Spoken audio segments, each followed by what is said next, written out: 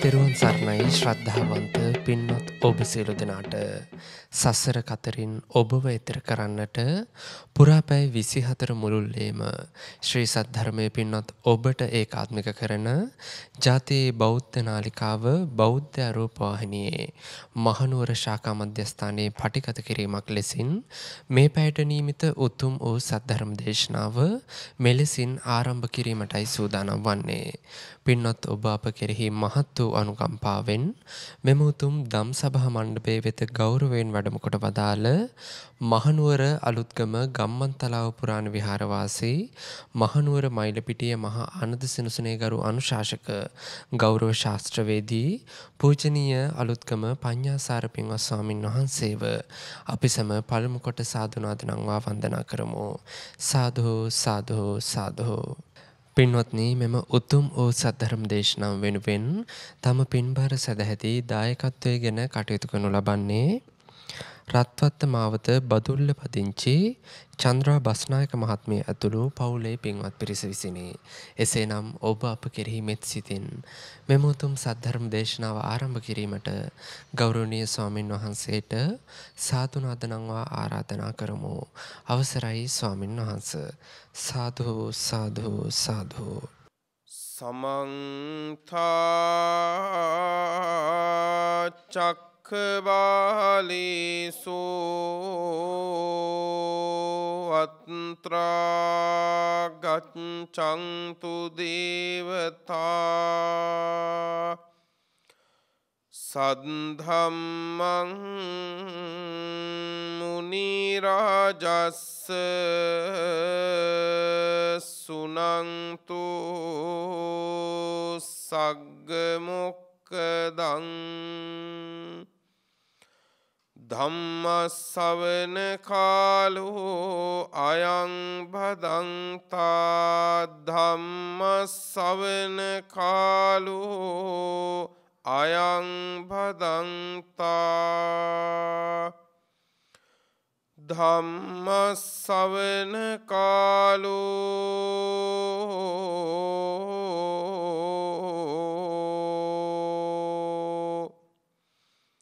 අයං වදන්තා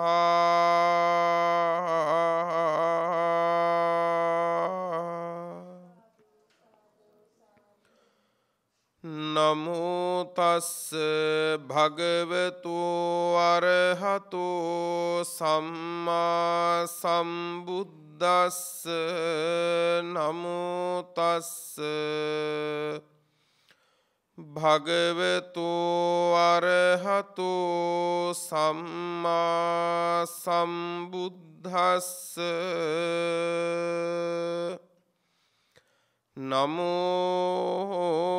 නමෝතස්ස භගවතු අරහතු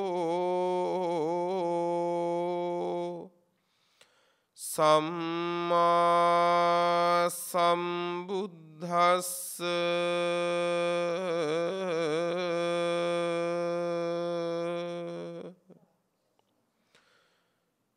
පංචිමේ භික්කවේ චේතසෝ විනිබන්ධාති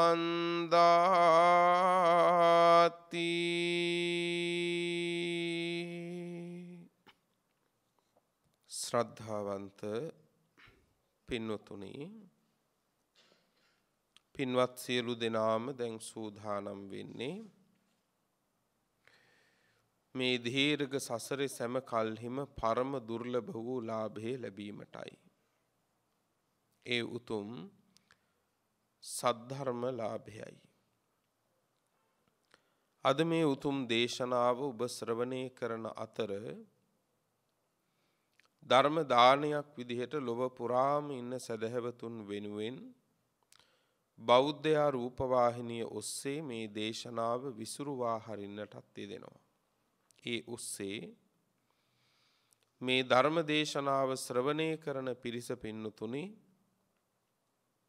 ප්‍රමාණ කරන්නට බැරි තරම් මහා පිරිසක් ඒ වගේම ඒ දේශනාවන් පසුව අන්තර්ජාලයට මුදාහැරියට පස්සෙත් ඒ ඔස්සෙත් සුවිශාල පිරිසක් මේ දේශනාවන් ශ්‍රවණය කරනවා. ඒ නිසා ඔබ ලබන මේ ධර්ම ලාභය සුවිශාල පිරිසකට දන් දීමෙන් මේ හැම දිනාම අද ධර්ම දානමය මහත් ඵලදායක කුසලයයි මේ රැස් කරගන්නේ. අද මේ උතුම් ධර්ම දානමේ පින්කමේ පින්වන්ත දායකත්වය ධර්මින් කටයුතු කරන්නේ අංක 50න් 7 රත්වත්ත මාවත බදුල්ල යන ලිපිනයෙහි පදිංචි පින්වත් චන්ද්‍රා බස්නායක මහත්මිය ඇතුළු පවුලේ පින්වන්ත සියලු දෙනා විසින්. පින්වතුනි අපි සියලු අරමුණු පරමාර්ථ පුණ්‍යානුමෝදනාවන් ධර්මදේශනාව අවසානයේදී පමණක් සිහි කරමු. හැම දෙනාටම ලාභය පිණිස දේශනාවම ආරම්භ කරමු. දේශනාවේ දායකත්වයේ දරන පින්වන්ත ඔබටත් එමෙන්ම ඔබේ දායකත්වයෙන් ධර්ම ශ්‍රවණය කරන හැම දිනාටමත් උතුම් ධර්මය සුවසේම අවබෝධ වේවා කියන ප්‍රාර්ථනාව හිතේ ඇති කරගෙන හැම දිනාම දැන් ධර්ම ශ්‍රවණය කරමු. පින්වතුනි මාතෘකා කළේ සූත්‍ර දේශනාවක් මේ සූත්‍රයේ සඳහන් වෙන්නේ පින්නතුනේ සූත්‍ර පිටකයේ අංගුත්තර නිකායේ. අංගුත්තර නිකායේ පංචක නිපාතය කියලා නිපාතයක් තියෙනවා ධර්මකාරණාවන් පහක් පිළිබඳව දෙසූ දේශනාවන් ඇතුළත් කොටස. ඒ පංචක නිපාතයේ සූත්‍ර දේශනාවක් තියෙනවා පින්නතුනේ සූත්‍රයේ නම විනිබන්ධ කියන සූත්‍ර දේශනාව. මොකද සූත්‍රයේ නම විනිබන්ධ සූත්‍රය. සූත්‍ර පිටකයේ අංගුත්තර නිකායේ පංචක නිපාතයේ විනිබන්ධ කියන සූත්‍ර දේශනාව තමයි පින්නතුනේ දේශනා කරන්නේ. පින්වත්නි බුදුරජාණන් වහන්සේ දේශනා කරනවා පංචිමේ භික්කවේ චේතසෝ විනිබන්ධා. මුලින්ම අපි තේරුම් ගන්න ඕන දේ තමයි පින්වත්නි මේ සසර හෝ නිවන පින හෝ පව කුසලය හෝ අකුසලය මේ හැම එකක්ම මනෝමයා. මනෝමය කියන්නේ? දැන් අපි අහලා තියෙනනේ පින්වත්නි මනෝ පුබ්බංගමා ධම්මා මනෝ සිට්ඨා මනෝමයා කියනවා මනෝමය කියන්නේ නෑ පින්වත්නි මනෝ පුබ්බංගමා කියන්නේ මනස මුල් කරගත්තු බව. මනෝමය කියන්නේ.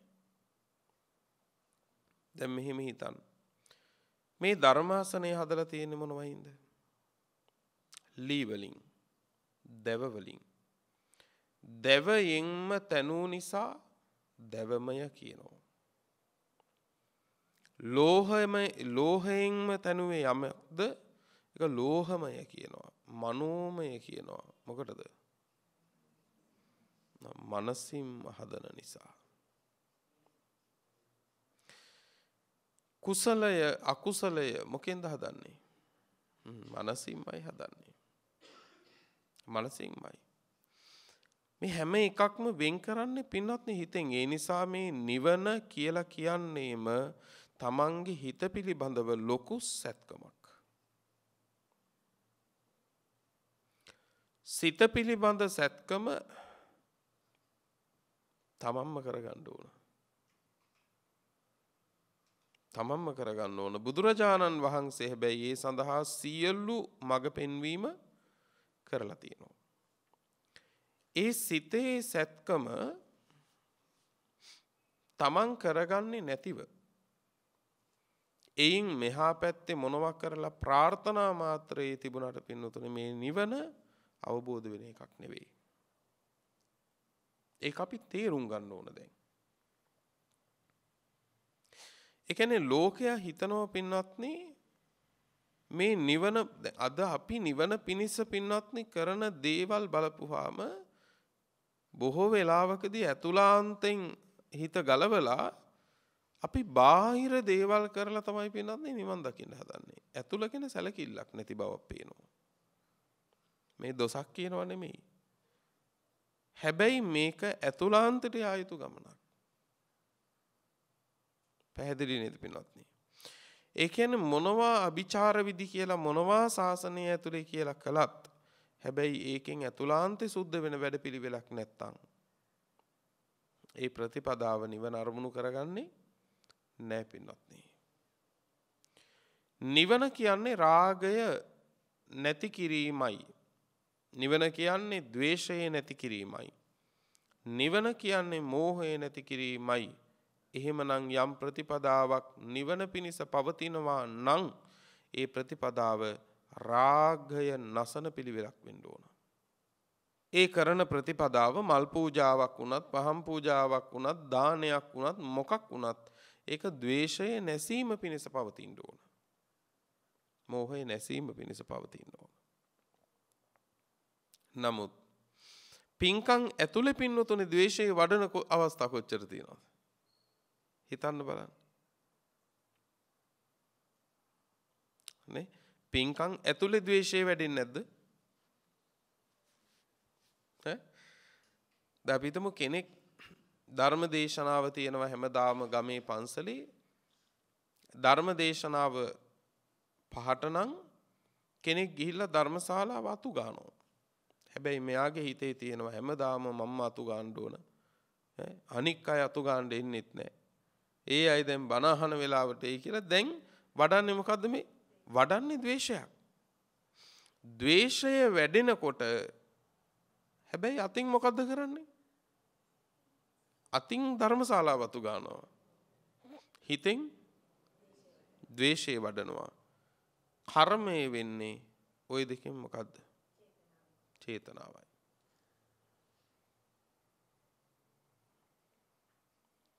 බලන්නකෝ පින්වත්නි තේක ගිලම්පස එකක් කරන්නේ මොකින්ද? සිතින්. නේද? තේක ගිලම්පස එකක් කරන්නේ හිතින්නේ ගිලම්පසට වෙන එකක් දන්නේ ඉදෙන එකම බත් මුට්ටියේ එක පිඟානකට බෙදෙන එක බත් වෙන්නෙත් ඒ මුට්ටියෙන්ම අනික් පැත්තට බෙදෙන එක දානෙ වෙන්නෙත් මොකෙන්ද වෙන් කළේ? සිතින්. ඒ නිසා මතක තියාගන්න මේ නිවන පිණිස වූ වැඩපිළිවෙල සිත මුල් කරගත්තු එකක්. මේක තමන්ට තමන් එක්ක තියෙන යුද්ධයක්. පැහැදිලි නේද පින්වත්නි? බාහිර අන් සියලු දේවල් වලින් කරන්න පුළුවන් වෙන්නේ යුද පිටිය හදන එක විතරයි. යුද්ධෙ තමන් එක්කයි තියෙන්නේ. අපි මල් පූජා කරලා පහන් පූජා කරලා ඔය ඔක්කොම කරන්නේ මොනවද? යුද පිටිය හදන එක. එතකොට දැන් මේ මොකද කරන්නේ? ධර්ම ශ්‍රවණය කරනවා. ඒ කියන්නේ ආයුධ හදා ගන්නවා. යුද්ධෙට ආයුධ හදන එක මේ කරන්නේ මෝහත් තියාගන්න එක. හැබැයි මතක තියාගන්න යුද්ධ කරන්න වෙන්නේ ඔබට. දැන් මේ ආයුධ ටික පින්වත්නි කඩුව කොපුවේ දාගෙන සතුරු සේනාව එනවා ගෝසාව ඇහි ඇහි සතුරු සේනාව එනකොට දූවිල්ල අහසට නැගෙනවා පෙනිපෙනි රජ්ජුරුව මොකද කරන්නේ කඩුව කොපුවේ දාගෙන දොහොත් මුදුන් දීලා වැඳගෙන සඳලු තලයේ ඉඳන් ප්‍රාර්ථනා කරනවා අනේ මං යුද්ධෙ දිනේවා. සතුරු සේනාව පරදීවා. අපිටම ජයාත්වේවා කියල ප්‍රාර්ථනා කරනවා. මොකක් වේද. පරදිනෝමයි පින්නත්න. එක්කො සතුරු සේනාවේ සතුරන් අතින් මේ රජ්ජුරුව මැරුම් කනෝ. නැත්තං ජීවිතාන්තය දක්ව හතුරන්ගේ හිරකාරය බවට පත්වෙනවා. පින්වත්න ඒ වගේ තමයි. අවශ්‍ය පින දහම කරගෙන අවශ්‍ය ආමිස පුද පූජාදියෙන් යුද පිටිය හදාගෙන මේ ධර්මය තුළින් ගන්න පාඩමින් යුද්ධ පටන්ගන්න නැතුව මට නිවන් සම්පත් ලැබේවා මගේ හිත කෙලෙසුන්ගෙන් මිදේවා මට අකුසල් හිතක් නූපදීවා කිය කිය ප්‍රාර්ථනා කළාට ඒක එහෙම වෙන්නේ. අන්තිමෙදි සිද්ධ වෙන්නේ මොකද සතුරු අතින් මැරුම් කනවා. ඒ කියන්නේ භික්‍ෂූන් වහන්සේ නමක් නං අර නැගිච්ච ක්ලේසේට අහුවෙලා අකුසලයක් කරගෙන තැවිල්ල සිවුර ඇරදාලා යනවා. ඉතින් ශාසනයේ මැරුණද නැද්ද. ශාසනයේ මැරුණා. දේශනාව කියනවනේ සිවුර ඇරයෑම යනු මහනෙන ආර්ය විනයේ මරණයයි කිව්වා. උපාසක කෙනෙක් නම් පින්නති අකරන් ලෑල්ලකට හරිකමන්න උපාසක භාවය ඇතරලා යනවා මැරුණද නැද්ද ශාසනයේ මැරුණා. එහෙම නැත්තම් දිවිහිමියෙන් හිරකාරයෙක් බවට පත් වෙනවා. එක්කෝ අකුසලයක් කරගෙන කර්ම විපාක හැටියට නිරයේ බැඳෙනවා කල්පයකට. ඔන්න හිර වුණා. එක්කො තිරිසන් ලෝකෙ ගිහිල්ලා හිර වෙනවා. එක්කො ප්‍රේත ලෝකෙක ගිහිල්ලා හිර වෙනවා. ඒ නිසා තමන් ඇතුලාන්තෙ කරගන්න තියෙන යුද්ධයක් පින්වත්න මේක සිතත් එක්ක තියෙන ගණු දෙනුවක් දැන්ගේ වැඩේ පටන් ගන්න ඕන. ඉතින් මේ සිතට මේ යුද්ධ කරන්න බැරිවෙන්න බැඳලා තියෙන දැන් අපි හිතමු රජ කෙනෙක් ඉන්නවා මේ රජ්ජුරුවෝ පින්වත්න යුද්ධ පිටියත් හදාගෙන. ආයුධත් තියෙනවා ඉතාම හොඳට මූහත්තියාගත්තු. රජ්ජුරුවන්ට යුද්ධ කරන්නත් ඕන. රජ කෙනෙක් යුද්ධ දිනේවා කියලා නෙවෙයි හිතන්න ඕන. ඒනම් හිතන්න ඕනකොම. මං යුද්ධෙ දිනන එක දිනනවා කියලා. එතකොට ඒ වැඩේ තමන් කරන්න ඕන වැඩක් කියලා එයා තේරුම් අරන් ඉන්නවානේ. මං යුද්ධෙ දිනන එක දිනනවා කියලා හිතාගත්තා නම් එසැනින් අත යන්නේ කොහෙටද? කඩුවට පින්නත්. ඔහු සතුරු බලමුළු විනාශ කරන යුද්ධය එතන ඉඳලා පටන් ගන්නවා. ඒ වගේ තමයි දැන් අපි නිවන් සම්පත් ලැබේවා කියලා පැතුව ඇති. දැන් කරන්න ඕන වැඩේ මම මේක මේ භවයේ කරනෝමයි.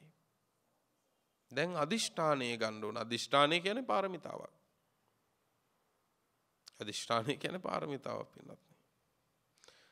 දැන් කරණීයමිත සූත්‍රය කියන්නේ සක්කෝ කියලා මට පුළුවන්. මේක කරන්න පුළුවන්. පුළුවන් කියන තැනින් පටන් ගන්න ඕන පින්නත් ඕනම දෙයක් එහෙමනනේ පුළුවන් කියන දේත් එක්කෙනෙ කැමැත්ත හැදෙන්නේ ඉර්දිපාද ධර්මවල පළවෙනි ඉර්දිපාදී චන්ද ඉර්දිපාදී කැමැත්තක් තියෙන්න ඕන දේශනාව වුණත් අහන්න පින්වත්නි පළවෙනියටම හැදෙන්න ඕන දේ කැමැත්ත ඒ කැමැත්ත හැදුන් නැත්තං ධර්මශාලාව නිරයක් වෙනවා පින්නත්නේ හැබැයි කැමැත්ත හැදුනට පස්සේ ධර්මශාලාව ඇතුළේ පැය එතන තවත් එක නිවනක් විඳිනවා මිනිස්සු. යම් වෙලාවකට හරි අර බලවත් කෙලෙස් තුනී කරගෙන නිවීමක් විඳිනවා පින්වත්නි. කැමැත්ත හැදුනම. අකමැත්ත හැදුනම අකමැත්ත හැදුනම පින්වත්නි මේ පැය කියන්නේ දුකක්. වෙහෙසක්. ඒ නිසා මේක කරන්න පුළුවන් කියලා හිතන්න ඕන පින්වත්නි. පුළුවන් කියන තැනට හිත දැඩි කරගන්න ඕන. එහෙම දැඩි කරගන දැන් රජ්ජුරුවන්ට යුද්ධ කරන්නත් ඕන ආයුධත් තියෙනවා යුද පිටියත් සකසල තියෙනවා. නමුත් මේ රජ්ජුරුවන්ව පින්නතුනේ ගැට පහකින් ගැට ගහලා තියෙනවා. පුළුවන්ද යුද්ධ කරන්න. යුද්ධ කරන්න බෑ. යුද්ධ කරන්න ඕනකමක් නැද්ද යුද්ධ කරන්න ඕනකම තියෙනවා. ආයුධත් තියෙනවා. යුද පිටියත් හදාගෙන තියෙනවා. හැබැයි මේ රජ්ජුරුවන්ව බැඳීම් පහකින් බැඳලා තිබ්බොත් එහෙම මොන උවමනාව තිබ්බත් ඉතින් රජ්ජුරුවන්ට යුද්ධ කරන්න බෑනි පින්නත්නේ. අන්න ඒ වගේ අපිට නිවන අරමුණු කරගෙන පින්වත්නි මේ ශාසන ප්‍රතිපදාවේ අකුසල් දුරු කිරීම පිණිස කුසල් දියුණු කිරීම පිණිස වීරිය වැඩීමේදී ඒක කරගන්න බැරි වෙන්න අපේ හිත බඳින බැඳීම් පහක් තියෙනවා. මේ විනිබන්ධ සූත්‍රය කියලා දෙන්නේ ඒ පහ. පැහැදිලි නේද? රජුරවන්ට යුද්ධ කරන්න ඕනකම තිබුණාට යුද්ධ කරන්න බෑ බැඳලා නම් බැඳීම් පහකින්. ඒ වගේ අපිටත් නිවන පතාගෙන පින්වත්නි නිවන පිණිස අකුසල් ප්‍රහාණය කරන්න කුසල් සම්පාදනය කරගන්න වීරිය වැඩිය යුතු වුණාට ඒ වීරිය ගන්න බෑ මොකක් නිසාද සිත බැඳලා තියෙන බන්ධනයන් පහක් හින්දා මේ බන්ධනයන් පහ ඉස්සෙල්ලා සිඳ ගන්න ඕනේ මේ ශාසනයේ වීරිය වීරිය කරන්න නම් සැහැල්ලුවෙන් හිතන්න එපා පින්වත්නි මොකද අපි හැමෝම මේ යුද්ධය කරන්න ලබාගෙන ඉන්න භවයේ ආයුෂ ඉතා මල්පයි. ඒ නිසා ඉක්මනටම මේ බන්ධනයන් පහව සිඳගණ්ඩ ඕන පින්වත්නි අර යුද්ධ පටන් ගණ්ඩ නං. යුද්ධ පටන් ගත්තේ නැත්තන් දිරන්ඩ බෑ යුද්ධ පටන් ගන්න නං මේ බැඳීම් පහ කඩාගන්න ඇතු බෑ. මොනවදේ හිතේ බැඳීම් පහ පංචිමේ භික්කවේ චේතසෝ විනිබන්ධා. සිතේ බැඳ ගැනීම මහණෙනි පහක් තියෙනවා. පළවෙනිම සිතේ බැඳ ගැනීම තමයි. මොකද්ද? කාමයන් කෙරෙහි තිබෙන්නා වූ අත් ඇරපු නැති ආසාව. කාමයන් කෙරෙහි තියෙන දුරුණුවිච්ච ප්‍රේමය. කාමයන් කෙරෙහි දුරුණුවිච්ච පිපාසය. කාමය කියන්නේ කාමයේ කොටස් දෙකයි. එකක් තමයි වස්තුකාම කියලා එකක් තියෙනවා. දෙක ක්ලේශකාම කියලා එකක් තියෙනවා. වස්තුකාම වලට තමයි පින්තුනේ වත්කම් කියලා කියන්නේ. දැන් ඔබේ වත්කම් කියලා ඒවා තියෙනවනේ. ඒ හැම වත්කමක්ම වස්තුකාමයක්. ඒ කියන්නේ කාම වස්තු. පැහැදිලි නේද? එතකොට අපි හිතමු දැන් ඔබට තියෙනවයි කියලා පින්වත්නි අක්කරයක ඉඩමක් ඒක ඔබේ වත්කමක් ඒ කියන්නේ වස්තුකාමයක් දැන් අක්කරයක ඉඩමක් තියෙන එක නෙවෙයි සසරට බර එහෙනම් මොකද්ද බලන්න ඕන ඔබ ඉඩම උඩ ඉන්නවද ඉඩම ඔබ උඩ තියනවද කියලා පැහැදිලිද. පයට දාන සෙරෙප්පු දෙක නෙවෙයි ප්‍රශ්නය හිතට දාන දෙක. අපි අනුන්ගේ සෙරෙප්පුත් එක්කං ඔලුවට දාගරන ඉන්නේ. එතන තියෙනමකක්ද අන්න දුරු කළ යුත්ත. දුරුකිරීම කියලා කියන්නේ කාමය කියලා හුදෙක් අතින් පැත්තකට කරන එක නෙමෙයි. අත්තල මනසක් හදාගන්න එක.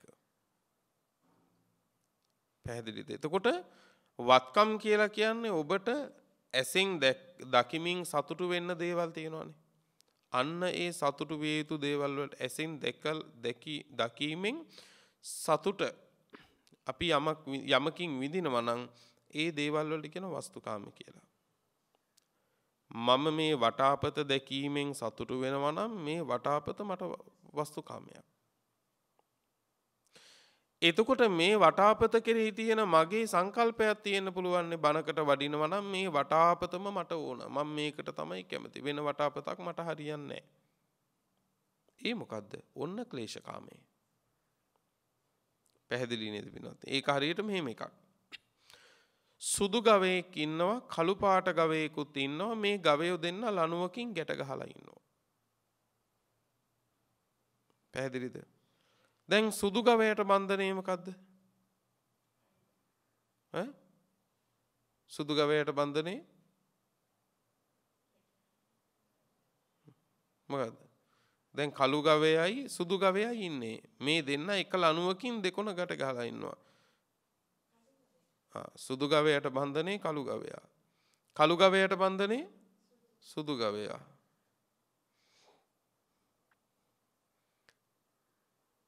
පින්වත්නි. එතකොට සුදු ගවයා නිදහස් කරන්න නම් කළු ගවය මරන්න ඕනනේ.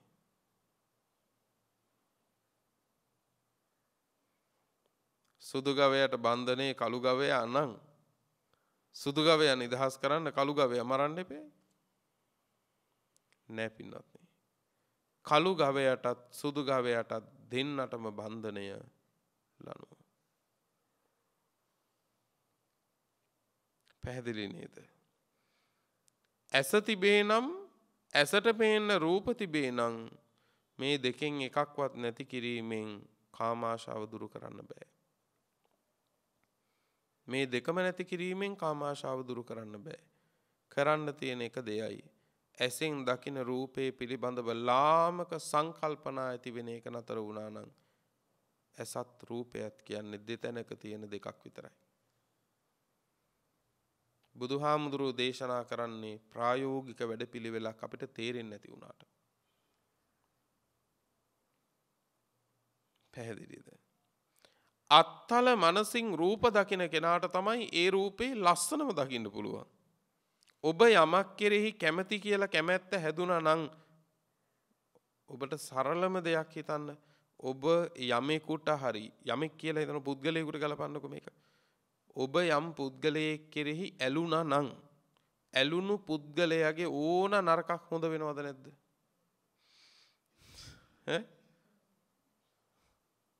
හොඳ වෙනවනේ.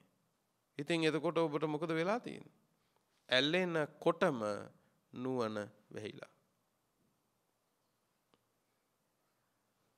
ඇල්ලෙන කොටම නුවණ වෙහිලා. ඒ ඇලීම ඊළඟට ඔක ගැටීමට ගියොත් මොකද? එක මිනිසෙක් ඉන්නවා පෙන්වන්න බෑ. ඒ මිනිසයාගේ මොන හොඳත් නරක වෙනවද නැද්ද? මොන හොඳත් නරක වෙනවා. ඇයි ගැටීම නුවණ වැහුවා. බුදුහාමුදුරුවෝ සතිපට්ඨාන සූත්‍රයේ පුරාම දේශනා කරන්නේ දුරු කරන්න විනේය ලෝකේ අභිජ්ජා දෝමනස්සා. ඔය ඇලීම් දෙක ගැටීම් දෙක තමයි දුරු කරන්න තියෙන්නේ. මොකද ඇලෙන කොටත් අපිට සිහිය නැතුව යනවා. ගැටෙන කොටත් අපිට සිහිය නැතුව යනවා. මුලාවට වැටෙනවා පිනත්. එතකොට දැන් බලන්න මේ කාමය කියලා කියන්නේ බාහිර තිබෙන දේවල් ඒව වස්තු කාමය. ඒක කාරණයක් නෙවෙයි. මේ ලෝකේ විචිත්‍රයි පින්වත්නි. මේ ලෝකේ විචිත්‍රයි. ඒ විචිත්‍රවත් වූ ලෝකයට දොස් කියන්න බෑ අපිට. මේ මල් බඳුන ලස්සනයි. ඒ ලස්සන මේකට මිනිස්සුන්ගේ හිතේ කැමැත්ත හැදෙනවා කියලා මේ මල් බඳුන අයින් කරන එක උත්තරයක් නෙමෙයි. ඒක උත්තරයක් නෙවෙයි පින්වත්නි. ඇහැට පේන එක නම් ප්‍රශ්නය පින්වත්නි මේ ලෝකේ කොනක ඉඳන් කපාගෙන ගිනි තියාගෙන ගියොත් එහෙම ඔය ඇත්තෝ හින්දන හිතනවාද අපි කාමරාගේ දුර වෙලායි කියලා? ඈ? නෑ පින්වත්නි. දැන් ওই යුද්ධ කාලයේම පින්වත්නි මුළු පවුලම කපලා කොටන මරලා එක්කෙනෙක් පමණක් ඉතුරු වෙච්ච කෙනෙක් ඉන්නවනේ. එයාගේ කාමරාගේ නැද්ද? යම් ස්වභාවික වෙසනයන්ට පත්වෙලා තමන්ගේ කියලා තිබිච්ච අබෑටයක්වත් ඉතුරු නැතුව තමන්ට තමන් විතරක් ඉතුරු වෙලා පින්නත් සියල්ල විනාශ වෙච්ච මිනිස්සු නැද්ද? ඒ ඇයට කාමරාගේ නැද්ද? තියෙනවා පින්නත්නි. අතීත කාමයක් හරියට නඩත්තු කරනවා. ඒක හොඳට තේරෙනවා සමහර කෙනෙක් පින්වත්නි දුවල පැනලා වැඩ කරගන්න බැරුව රෝද පුටුවකට වැටුනම බැරි බව තේරුම් ගන්නවද? නැත්තම් අතීත කාමයේ විඳිනවද? මම මෙහෙම හිටපු මිනිස්සෙක්ද කියලා අතීතේ ඉඳපු විදිහෙන් දැන් සතුටු වෙන්න පටන් ගන්නවා. ඒක තමයි හිතේ හැටි. ඒ නිසා ඒ වස්තුකාමයන් තියෙන එක නෙවෙයි කාරණය. හැබැයි ඒව කෙරෙහි අපි දක්වන ආකල්පය. පැහැදිලිද? ඇලීම් සහිත හරි. ඒ ඇලීම් සහිත සිතිවිල්ල තමයි පින්වත්නි මෙතන කාම වස් මේ ක්ලේශකාමය කියලා කියන්නේ. බුදුහාමුදුරුවෝ දේශනා කරනවා පින්වත්නි එවන් වූ වස්තුකාමයන් ගැන හෝ ඒ වස්තුකාමයන් පිළිබඳව හිතේ තිබෙන බලවත් වූ ආසාව හෝ දුරු නොකර මේ ශාසනයේ පිරිසිදුව වීරිය වඩන්න බෑ. ඒ කරන්න බෑ පින්වත්නි. සරලම සරල දෙයක් කියන්නම්. ඒකෙන් ඔබ මේ කාරණේ තේරුම් ගන්න. දැන් අපි හිතමු සමහර කෙනෙක් පින්වත්නි මොන්න පුණ්‍ය ප්‍රතිපදාව තිබුණත් පින්වත්නි යම් ආහාරයක් සපයනකොට අපේ අය කියනවා නේද පින්වත්නි මොනවා කරන්නත් කාලා ඉන්න ඕන කියලා. ඒක කියමනක් හැටියට කියනවනේ. මොනවා කරන්නත් කාලා ඉන්න එපයි කියලා. ඔය කියමනස්සේ මොකද්ද තියෙන්නේ?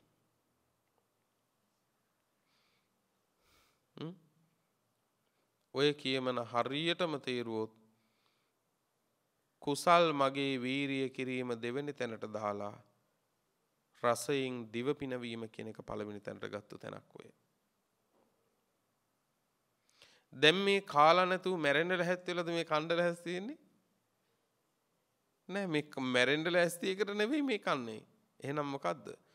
ආහාරයේ දකින්නකොට පින්වත්නි අපිට එහි කෙරෙහි තියෙන තණ්හාව අත්තරින්න බැරි කම. හොඳට බලන්න.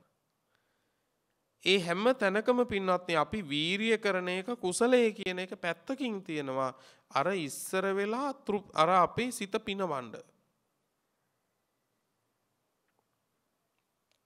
ඉස්සර වෙලා සිත පිනවන්න පින්වත්නි කුසලයේ අත්තරිනවා. දැන් ගෙදරක සාමාන්‍යයෙන් ඔබේ ගෙවල් වල වැඩ වැඩිද අඩුද? වැඩ වැඩි. බොහෝ අයට වැඩ වැඩිම වුණාම වැඩ වැඩිම වුණාම ඉස්සර වෙලාම අත්තරින්නේ මොකද්ද? දැන් කරගන්න වෙලාව මදි වැඩ වැඩි. එහෙම වුණාම වැඩ වැඩි මිනිස්සු ඉස්සර වෙලාම අත්තරින්නේ මොකද්ද? හොඳට බලන්න බුදුන් වඳින එක. ඕවා තමයි ඉස්සර වෙලා මත හොඳටම හිතලා බලන්න මේක. ඒක හරිනම් අන්තිමට මතාරින්න බෑනේ බැරිම තැනක් වුණොත්. ඒක හරිනම් අන්තිමට මතාරින්න ඕන එක. එතකොට තමන්ගේ කාමය මුල් කරගත්තා වූ සියලු දේවල් වලට මුලින් වෙලාව තියාගෙන තමන්ගේ කුසලයේ පිණිස වූ දේ අත්හරිනවා පින්වත්නි මුලින්ම මේ හිතේ තියෙන වංචනික තක්කඩි ගතියෝක තමයි. මේ අගක් මුලක් නැති සංසාරක මෙච්චර දුර ආවෙත් ওই හිතට රැවටිලාමයි වහල් වෙලාමයි මෙතෙන්දි පින්වත්නි ඔය ඇත්තෝ අනිත් පැත්තට හැරෙන්න ඕන දැන්. මෙච්චර කාලයක් ඔය ඇත්තෝ කරත්තේ ගැට ගහලා හිත තෝන් ලනු අරගෙන කරත්තෙට නැග්ගා. දැන් ඔය ඇත්තෝ මේක මාරු කරන්න ඕන. දැන් සිත කරත්තේ ගැට ගහලා ඔබ තෝන් ලනු අරගෙන කරත්තෙට නගින්න ඕන. ඔබේ ගමන යන්න. මෙච්චර කල් ගිය කාර්ය ගමනද? හිතට ඕන ගමන. නේ? මෙච්චර කල් හිතට ඕන ගමන නේ ආවි නිරේත් ඉඳලා, പ്രേත ලෝකෙත් ඉඳලා, තිරිසන් ලෝකෙත් නවාතන් අරන් කල්ප ගණන් සෑහෙන්න. මරාගෙනත් කාලා, මැරුණුත් කාලා. හිතට ඕන ලොකු ගමනක් ඇවිල්ලා තියෙනවා දැන්. දැන් ඔබ පටන් ගන්න ඕන බුද්ධ ශාසනයක් හමු වෙච්ච වෙලාවේ කාගේ ගමනද? තමන්ගේ ගමන පටන් ගන්න ඕන. හැබැයි ඒ ගමන යන්න නම් පින්වත්නි අර අධික මාත්‍ර කාමයන් කෙරෙහි තියෙන ආසාව හිතෙන් අත්තර ගන්නම වෙනවා හිතෙන් ගලව ගන්නම වෙනවා. ඕවා ඉතින් එකපාරට කරන්න පුළුවන්ද කියලා අපේ හිත ඊළඟ තර්ක දෙයි. මොකද මේ හිතට මේ වැඩේ කරන්න ඕන නැති වගේ තේරුම් ගන්න.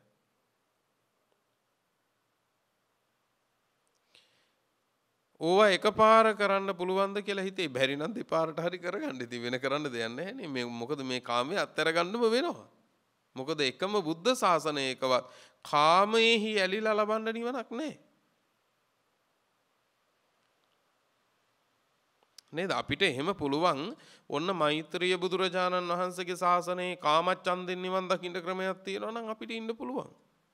එහෙම නැහනේ. එහෙනම් මොන බුද්ධ ශාසනයේ හරි මොනවා කර කර හරි නිවන පතන්න පුළුවන් ලබන්න බෑ. ලබන්න නම් යුද්ධ පටන් ගන්න වෙනවා.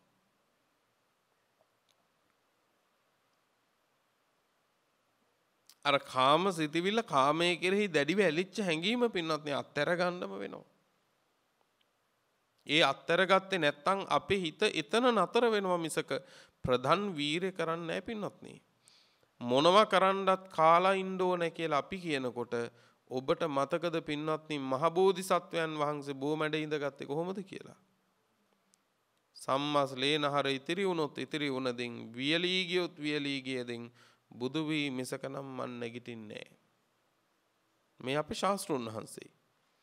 අපේ ශාස්ත්‍රුන් වහන්සේ සම්මස්ලේනහර ඉතිරි වුණොත් ඉතිරි වුණදින් වියලී ගියොත් වියලී දියේදින් බුදු වී මිසකනම් මන් නැගිටින්නේ නැහැ කියලා බොමැඩ ඉඳ ගන්නකොට උන්වහන්සේගේ ශ්‍රාවකයෝ වෙච්ච අය කියන මොනවා කරන්නත් කාලා ඉන්න බෑ කියලා. මේ කියමන් දෙක අතර තියෙන දුරස්ථභාවය හිතලා බලන්න. ඒකෙන්ම තේරුම් ගන්න අපි බුදුරජාණන් වහන්සේට සමීපද දුරස්තද කියලා.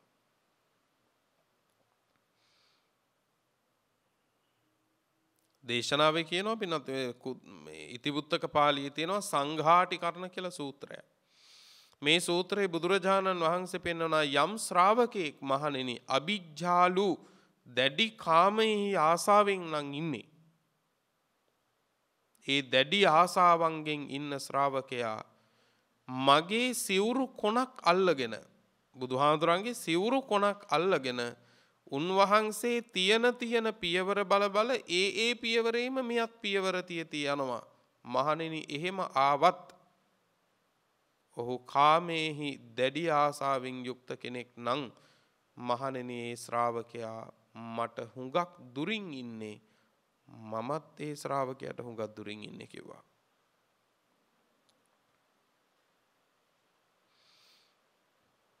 ඒ නිසා බුදුහාමුදුරුවන්ට සමීප වෙන ක්‍රමය වෙනම මේකක්. මොකද උන්වහන්සේ නික්කෙලෙස් ශාස්තෘන් වහන්සේ නමක්. නිකෙලෙස් ශාස්තෘන් වහන්සේ නමකට ලංවිය හැක්කේ නිකෙලෙස් බවට පත්වීමෙන්ම හෝ නිකෙලෙස් බවට පත්වීමට වෙරදැරීමෙන් පමණයි. වෙන ක්‍රමයක් නෑ.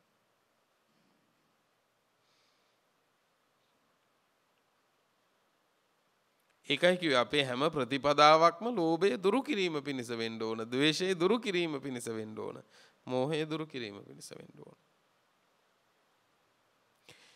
එතකොට කාමයන් කෙරෙහි ආසාව අත්හැරලා නැත්නම් එයාට වීරිය වඩන්න බෑ පින්වත්නි. ඒක සාර්ථක වෙන්නේ මොකද එයා ඒ කාමයේ වෙනුවෙන් වීරිය අත්හරිනවමයි කොතෙන්දි හරි.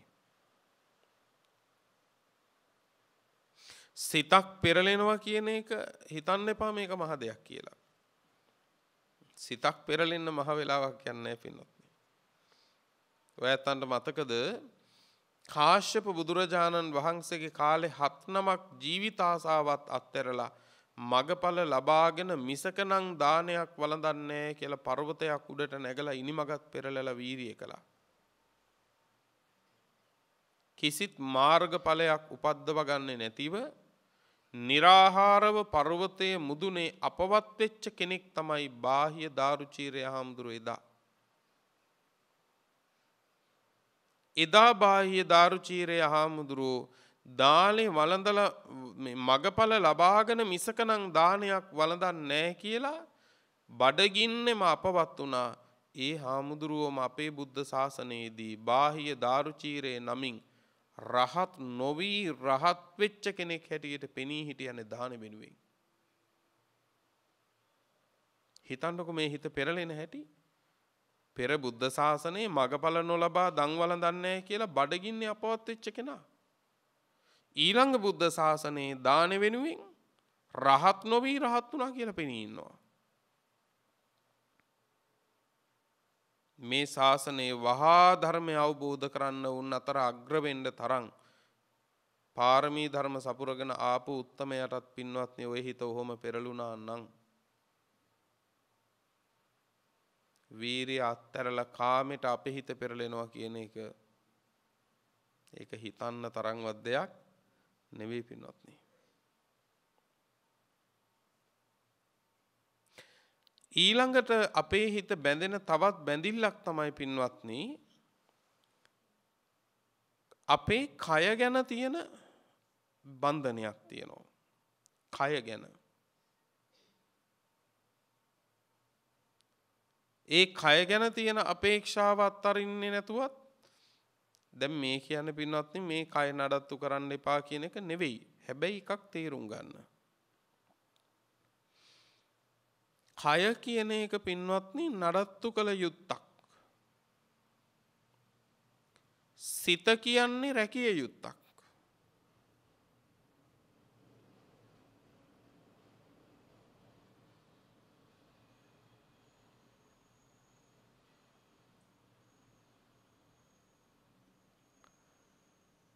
කය කියන්නේ නඩත්තු කළ යුත්තක්. සිත කියන්නේ රැකිය යුත්තක්. නමුත් යම් තැනකදී කය රකින්න පටන් ගත්තොත්. මොකක් එදාට පින්වත්නි කය රකින්න අපි සිතේ රැකවරණය කියන එක අත්හැරනවා හිත නඩත්තු කරන්න පටන් ගන්නවා. පැහැදිලි නේද? ඒ නිසා මේ කය කියන්නේ රථයක්. රථය හුදෙක් එතරවීම පිණිසයි ගමන යෑම පිණිසයි. මේ කරත්තය අපිට නැතුව බෑපින්නොත් වෙන ගමනක් යන්න මේ ගමන යන්න බෑන නැත්තා. දන් දෙෙන්ඩත් සිල් රකින්නත් භාවනා කරන්නත් මොකක් කරන්නත් මේක පෑ. ඒ නිසා මතක තියාගන්න ඕන මේක අත්තරින්ඩ වෙනවා ඒකට සූදානං හිත හදාගෙනම පින්වත්න මේකයි නඩත්තු කරන්න ඕන. පුළුවන් තරම් මේක නඩත්තු කරන්න නම් වයසට යන්න එපා පින්වත්න. මේක නඩත් මේක එදිනෙදාට පින්වත්නි පවත්වාගෙන පින්වත්නි කොහොම හරි මේකින් හිත ගලවන්න ඕන. දුර්ලභ ජීවිතයේ පින්වත්නි මේ කුණු කන්දක් නඩ පින්වත්නි රකින්න දිය කෙරුවොත් නම් මේක මහ කරුමයන්නේ පින්වත්නි මැරෙනකොට වෙච්ච දෙයක් නෑනේ පින්වත්නි මේක රැක රැක හිටියොත් නේද? මොකක්වත් වෙච්ච දෙයක් නෑනේ පින්වත්නි. ඒ නිසා මේ කයට බලය තියෙන වෙලාවේ හයිය තියෙන වෙලාවේ හොඳම දේ තමයි Taman දක්ෂ වෙන්න ඕන Tamanගේ ගැලවිල්ල Taman හදාගන්න. මේකේ ඇලිලා ඉන්න එපා පින්වත්නි. මතක තියාගන්න ගමනක් වාහනයක නැගලා යනකොට බස් එකක නැගලා ගමනක් යනකොට අනේ මට මේ බස් එක දාලා යන්න බෑ මේ බස් එක මට ඕනේ කියලා එයා ඒ බස් එකෙන් බහින්න නැතුව හිටියොත් මොකක් වේද? කිසිදාක මේ බස් එක මෙයාට අයිති වෙන්නේ නැහැ. අයිති වුණා කියලා තේරුමකුත් නැහැ. ගමන යන්න හම්බෙන්නෙත් නැහැ. මතක තියාගන්න මේකත් ඒ වගේ එකක්. මේකත් ඒ වගේ එකක්. ඒ නිසා කය කෙරෙහි අපේක්ෂාව බලවත්ව තියෙනකං වීරය වඩන්න බෑ පින්වත්නි. තුන්වෙනි බන්ධනය තමයි පින්වත්නි රූපය කෙරෙහි තියෙන දැඩි ආසාව. මෙතන රූපය කියලා කිව්වේ බාහිර රූපය. ඔබ ඔබේ කයෙහි ඇලිලා වගේම බාහිර තියෙන රූපයන් පුද්ගල වශයෙන් හරි වෙනත් වෙනත් ආදී වශයෙන් රූපයන් ඒ කියන්නේ සද්ද රූප වෙන්න පුළුවන් ගන්ධ රූප වෙන්න පුළුවන් රූප රූප වෙන්න පුළුවන් මේ හැම දෙයකමත් පින්වත්නි ලෝකයා පුදුම විදිහට බැඳිලා ඉන්නේ. ඒක හොඳට තේරෙනවා. ඇහෙන් දැක්කේ යමක් නම් ඒ දැක්මම ඊළඟ වාරයේ දකින්න අපි කොච්චර මහන්සි ගන්නවද? යමෙක් ඔබට ප්‍රියයි නම් ප්‍රිය කෙනාගේ රූපය යම් මොහොතක දැක්කනම් ඒ දැකපු රූපයේ ඇලුනා. ඒ රූපය මොහොත වෙනස් වෙනකොට පින්වතුනේ අපි සැලෙන තරම කොච්චරද? අපි ඒ රූපයම හොයනවනේ. මාසකින් කතා කරනකොට පෙරවතාවේ කතා කරනකොට තිබිච්ච හඬ නෙමෙයි නම් අපි අහනවනේ. කටහඬ වෙනස් වෙලා. සනීප නැද්ද? ඇයි ඊට මාසෙකට කලින් අපි කනට ගත්තු සද්ධරූපය ඒක එසේම පවතින එකක් කියලා අපි අල්ලගත්තා. ඒ කටහඬ එයා ළඟත් නැහැ. හැබැයි අපේ හිතේ තියෙනවා. බලන්නකු. යම්වරක විඳපු රසයක් වෙයි නම් ඒ රසය කොච්චර හොයනවද ආය ආය.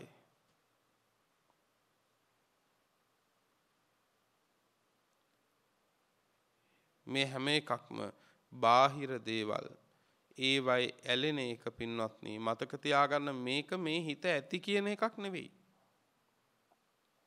සමහර කෙනෙක් හිතනවා මේ කාමයේ පිළිබඳව ආසාව දුරු කරන්න පුළුවන් කාමය දීමෙන්මයි සපිරීමෙන්මයි කියලා.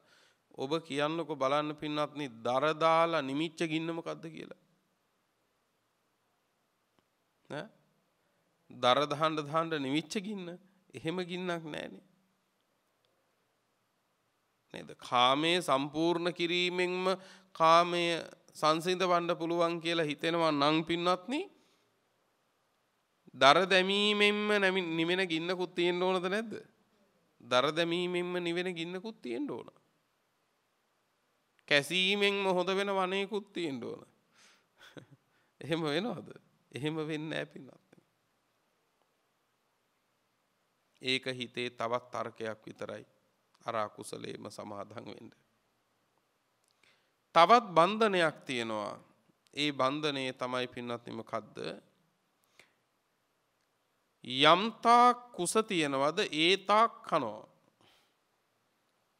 බඩ කොච්චරද එච්චරක් කනෝ. යම්තා කුස තියෙනවද කුසේ තරමටම කාලා කුසීත වෙලා නින්දෙ ඇලිලා පෙරලි පෙරලි නිදනවා කියනවා. නින්ද කියන එක පින්වත්නි මිනිස්සුන්ට ඇතිවෙන එකක් නෙවෙයි. දේශනාවේ හරිම වැදගත් දෙයක් ජාගරයානු යෝගය කියන එක කියන්නේ නිදි වර්ජිත බව. හැබැයි නිදි වරණ කෙනා නිදි වරන්නේ කුමක් සඳහාද කියන එකත් බලන්න ඕන. ගැන් නිදිමරණ හැමෝම පින්නත්නි කුසල් කුසල් කරන අය නෙමෙයිනේ. ඔය අංගුත්තර නිකායේ පංචක නිපාතෙම තියෙනවා අප්පං සුපති කියලා සූත්‍රයක්. මේ සූත්‍රය පෙන්වනවා නිදිවරණයි පස් දෙනෙක්. පරපුරුෂ සේවනයෙන් බලාපොරොත්තුවෙන් ඉන්න ස්ත්‍රිය නිදන්නේ නිදි වර්ජිතයි. කුසල් කරන්නද? නෑ. ඊළඟට පර ස්ත්‍රී සේවනයේ බලාපොරොත්තුවෙන් එන පුරුෂයා නිදන්න අඩුවෙන් වැඩියෙන් අවදියෙන් කුසල් කරන්නද නෑ. ඊළඟට ගෙවල් මංකොල්ල කන හොරා වැඩියෙන් අවදියෙන් අඩුවෙන් නිදී කුසල් කරන්නද නෑ. රාජ්‍ය පාලනයේ නියවුතු රජ්ජුරු නින්දක් නෑ මොහොතක් ගානෙ බයින් තැති ගැනිල්ලින් ප්‍රශ්න පිට කුසල්ද නෑ. ඊළඟට නිදිවරණ කෙනා තමයි කෙලෙස් දුරු කිරීමට වීරිය කරන භික්ෂුව. ඔන්න කුසල් වඩන කෙනා. යම් කිසි කෙනෙක් අවදියෙන් ඉඳිමින් කෙලෙස් දුරු කිරීම පිණිස වෑයම් කරන්නේ නැත්තං.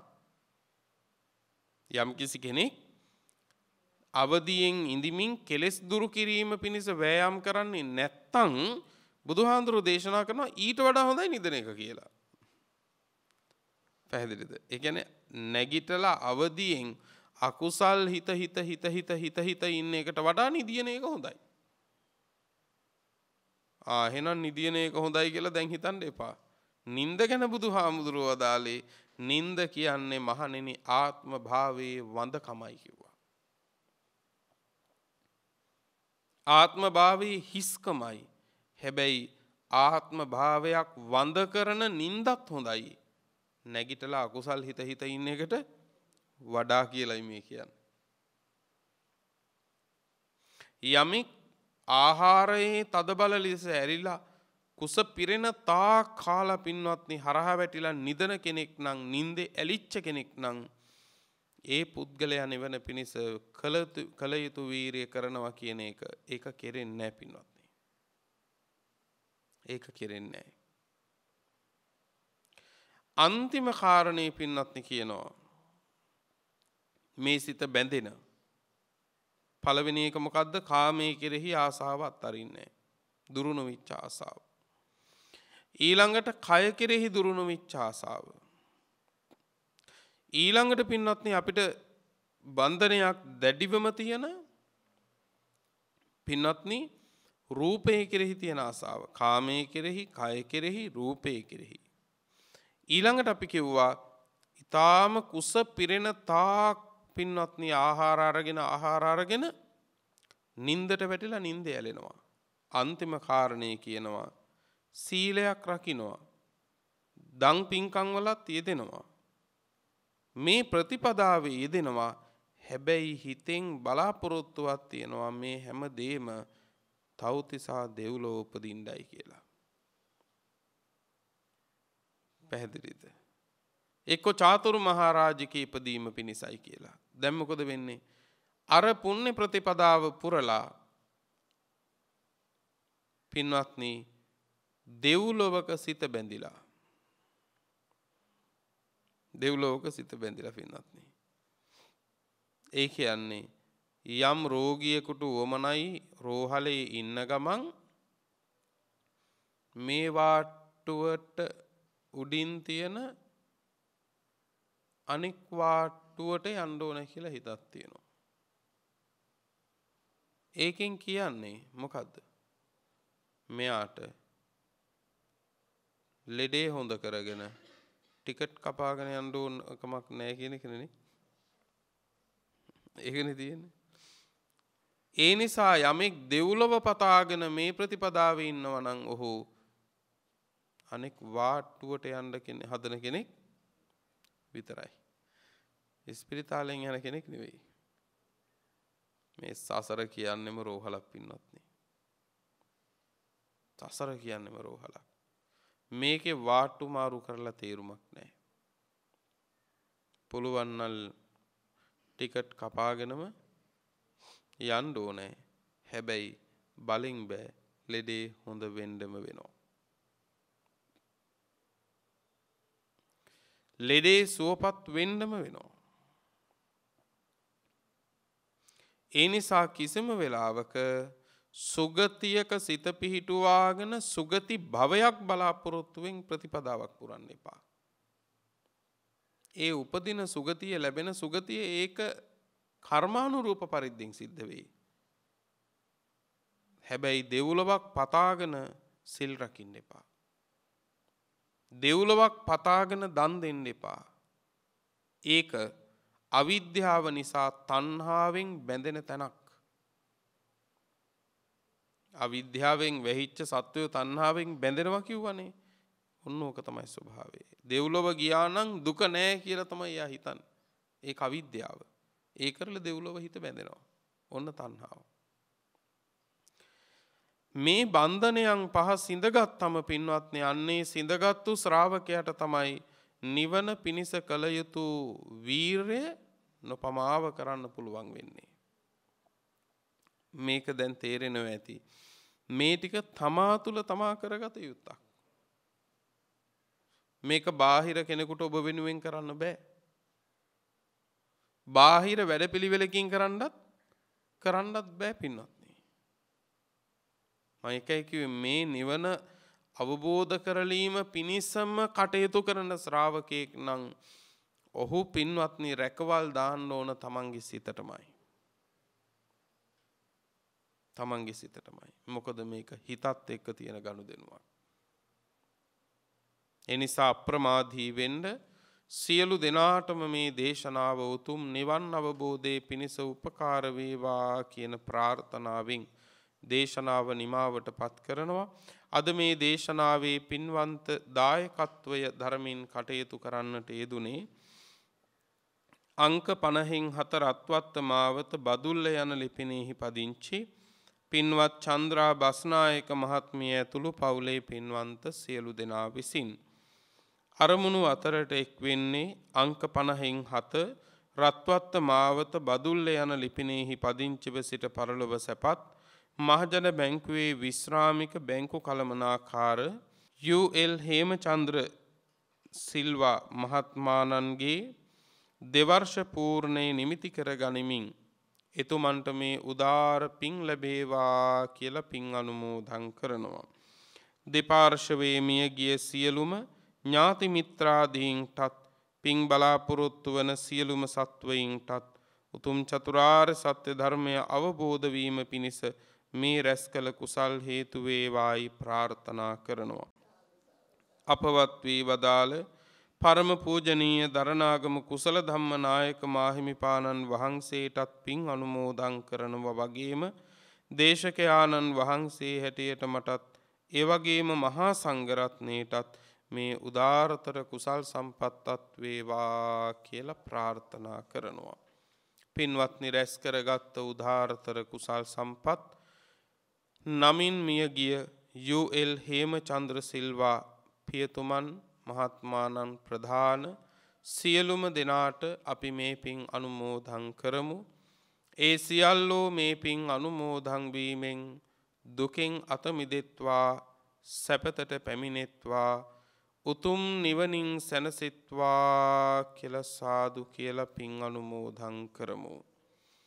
දේශනාවේ දායකත්වයේ දරූ ඔබේ යහපත් පැතුම් මිටු වේවා යහපත් කටයුතුද සඵල වේවා ඔබටත් ධර්මශ්‍රවණය කළ හැමටත් නිදුක් නිරෝගී චිරජීවනයත් සිද්ධ වේවා බුද්ධාදී උතුමන් නිවුණු සැනසුණු අමා මහ නිවන මේ කුසල බලයෙන් අපටත් ලැබේවා කියලා සාදු කියලා ප්‍රාර්ථනාවන් ඇති කර ගනිමු.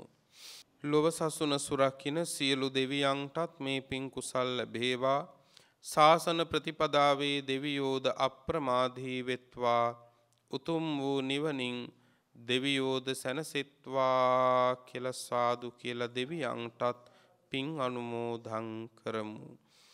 ආකාසට්ඨාච බුම්මට්ටා දේවා නාග මහිද්దికා පුඤ්ඤං තං අනුමෝදිත්වා චිරං රක්ඛන්තු ලෝක සාසනං චිරං රක්ඛන්තු ධම්ම දේශනං චිරං රක් රක්ඛන්තු ත්වං සදා